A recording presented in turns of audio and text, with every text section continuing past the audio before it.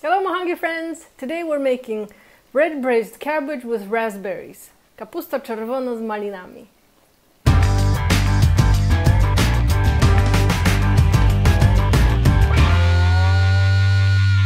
Welcome back friends, this is Polish Kitchen and my name is Anna and here I teach you how to make Polish food. Can you eat Polish food if you're not Polish? Yes. Good, good answer. Thank you. You get five stars. Yep.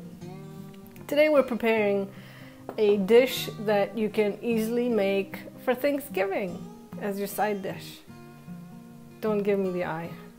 Uh, we're making braised red cabbage with raspberries, a, and this is a traditional Polish dish that we normally eat with some kind of, um, I'd say, like a gamey meat, Yeah, more uh, uh, a bird. bird like duck or goose.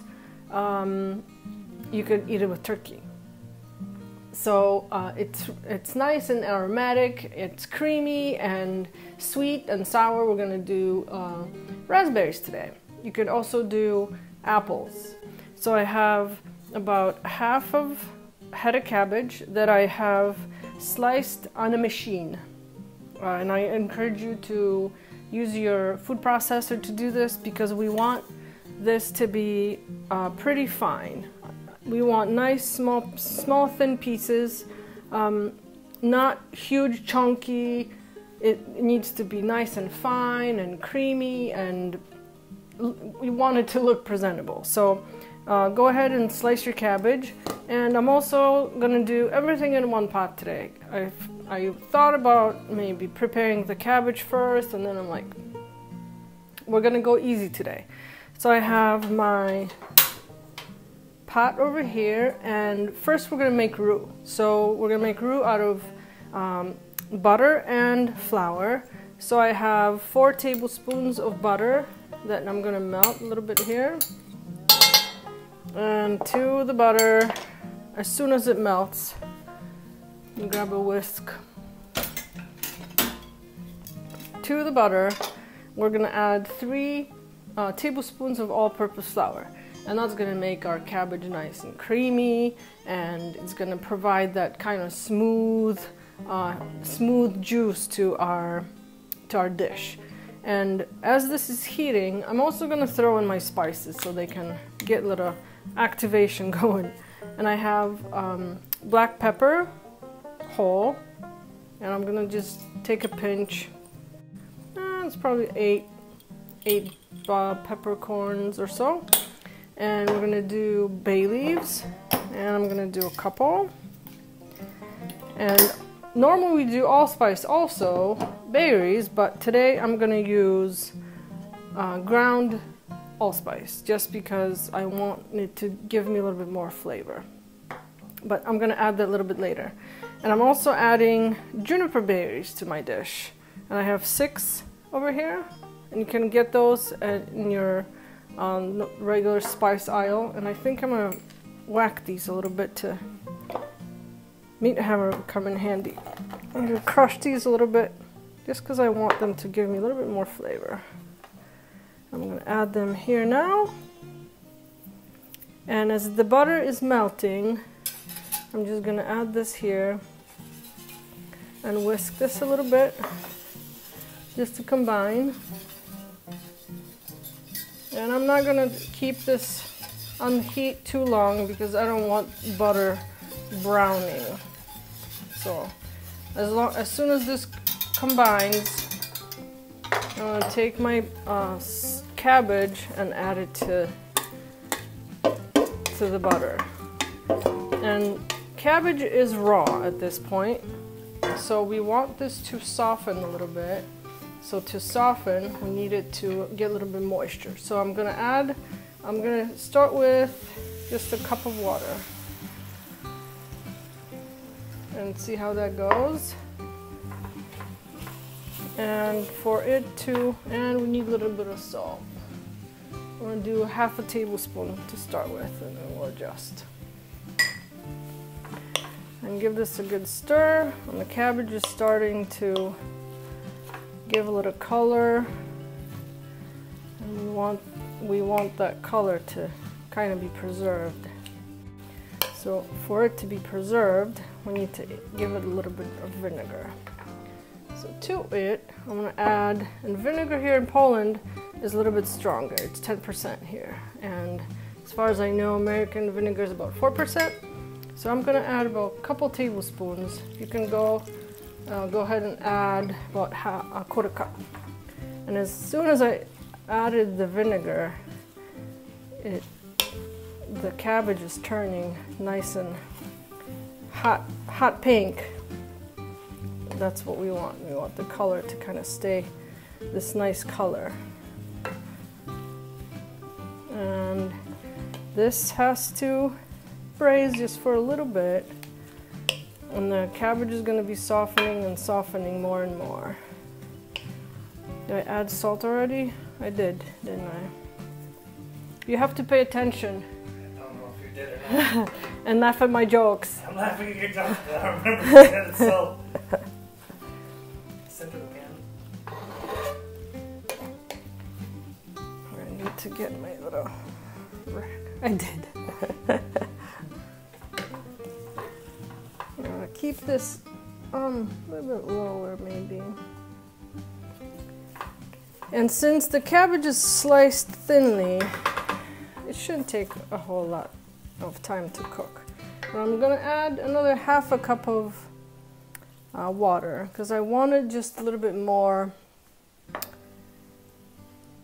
moist, I guess. I don't know if that's a good word to use for food. Moist? Um, Juicier. juicy, I guess. and to our cabbage, we're also gonna add um, some red wine. And I have half a cup and preferably dry wine. So that's your Cabernet Sauvignon. And that's gonna add a little bit more nice and vibrant red color, which is already happening. Would you like to see? Yes. Never did anything. It looks delicious already. I think, don't you think? Mm-hmm. And this is also a meatless dish for those of you who pay attention to that. Am I missing anything? I have, oh, and I, allspice can go in too. And I have a quarter teaspoon. It's gonna give us nice earthy flavor and tone to our dish. And sour comes from vinegar and sweet is gonna come from our raspberries, which I'm gonna add here in a second. And we're gonna taste it, and if we think, we may add a little bit of sugar or honey too, is possible, just to make it nice and sweet and sour. So I'm gonna cover this, uh, let this go for a few minutes. Five minutes, my friends. And I love the color of this cabbage. This is for sure job of the vinegar and red wine. And without it, it would look kind of pale and I just prefer it this way. I was going to say something else, but. Uh, and so, five minutes of cooking. I like a little bit of tiny crunch in my cabbage, so I don't want to overcook it. So, five minutes, it's good for me. I'm going to add raspberries, and I have about eight ounces here. Whoa, there's a leaf too. Don't add leaves. And I'm to give this a good stir and they will soften and give us a little sweetness. And I guess um, Grandma used to add uh, some, what you call it, raisins also.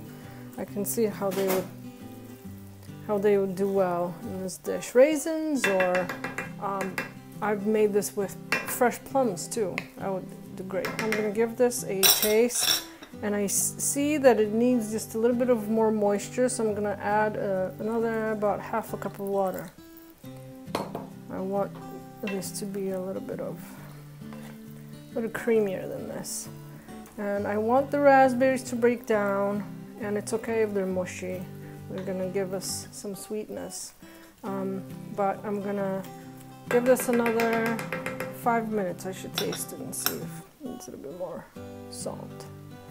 Husband says I didn't add salt. Okay, I looked at the camera and you did.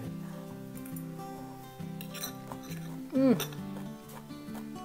Flavors are already combining. I can taste the juni juniper berries. Let's um, give it another five minutes or so. Another five minutes. And this is getting nice and juicy. Now if you're preparing this for your Thanksgiving meal, good thing about it, so let me say something here. My husband is moaning over here in the corner.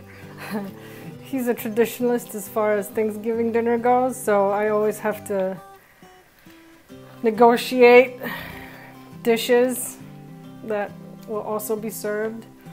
Uh, so if you don't have to negotiate. In my defense, I don't try to put American food in Polish Christmas. okay, So, okay.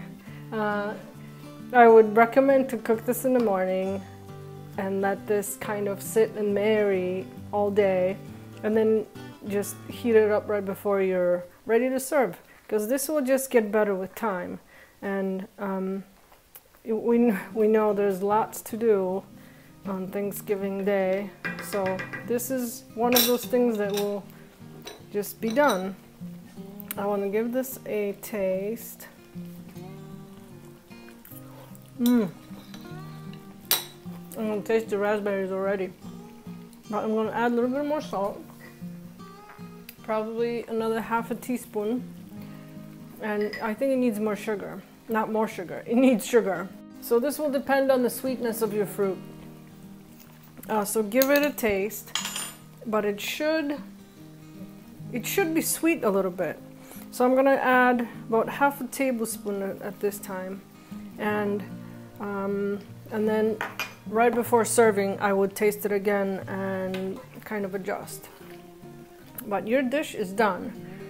Um, what else? What else is there to say?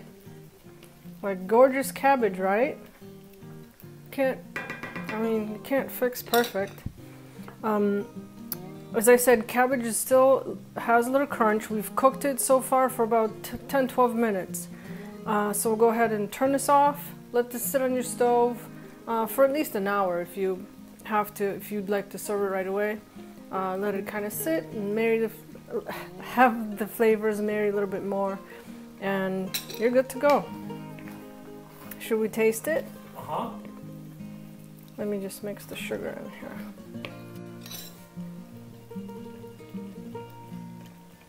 We have quite a bit.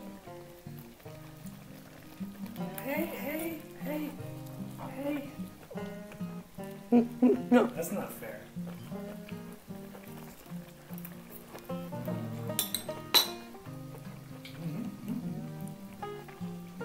Simple. I mean, what can I say? I hope you make it at home. Thanks for visiting our channel. See you Friday when kitchen's closed and taking you out to eat. Uh, this week we're gonna show something exciting. so you better check back in and subscribe to our channel. Check out the merch store. Thank you for supporting our uh, our channel by buying merch and giving us donations. We really appreciate it. And we'll see you back again. Smacznego!